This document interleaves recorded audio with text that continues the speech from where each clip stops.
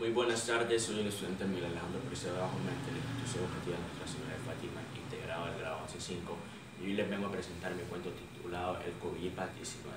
Se dice que hace una vez en el año escolar 1919 en la Institución Educativa Fátima, todo transcurría con normalidad. Pero en el mes de marzo del 19 sucedió algo que paralizó y atemorizó a toda la comunidad educativa.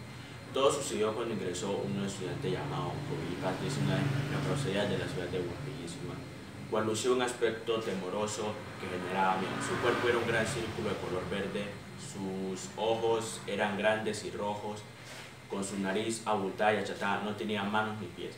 Covillipa 19, al mirar la actitud de los miembros de la institución educativa Fatipaz, se enfureció tanto que su cuerpo se observaba de diferentes colores y a su vez lanzó llama por sus ojos, digo, me multiplicaré hasta que extermine a cada miembro de este plantel. Ocurrieron 15 días de encierro, incertidumbre y miedo donde la comunidad educativa no sabía qué hacer.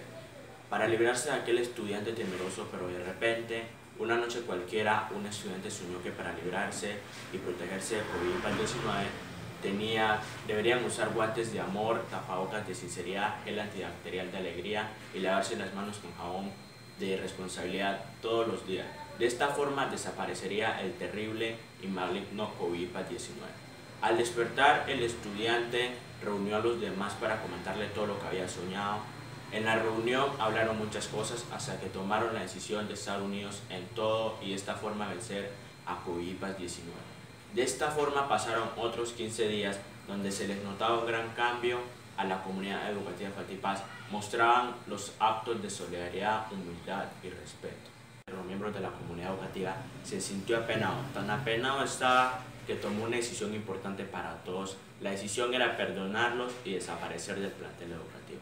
Los organizó para hacerles saber su decisión mientras Covillipa 19 se dirigía hacia ellos con palabras dulces que hacían notar su gran arrepentimiento.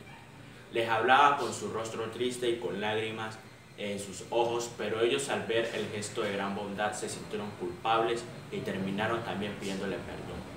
Desde ese momento todo cambió en la comunidad educativa de Fatipaz, todo volvió a la normalidad. Covillipa 19 cambió de forma impresionante siendo un estudiante responsable, respetuoso, solidario y amable con otras personas. Se le olvidaron los malos momentos que vivió en los días pasados. Para todos la experiencia les dejó una buena enseñanza.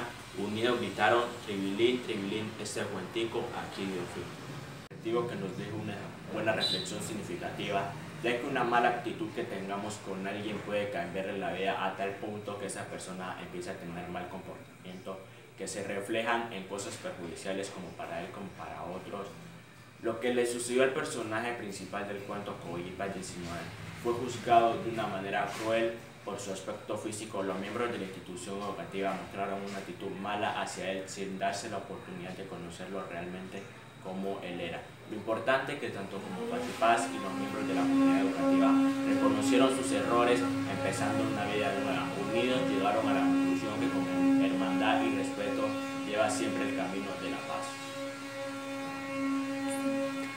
Quiero también agradecerle a, este cuento y darme la oportunidad de participar